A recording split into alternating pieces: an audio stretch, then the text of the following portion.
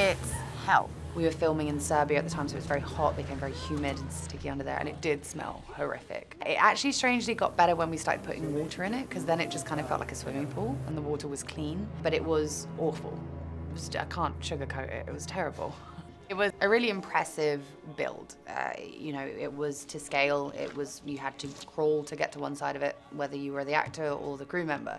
Uh, it was dark. It was gloomy. It was wet. You know, you have to kind of find your happy place as an actor because it's uh, pretty tight. You know, you got all the crew in there, everybody's in their dive gear, all the cameras, the lights.